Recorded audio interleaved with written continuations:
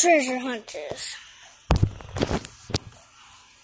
Coming to theaters and TVs, and phones, and iPads, and tablets this Monday.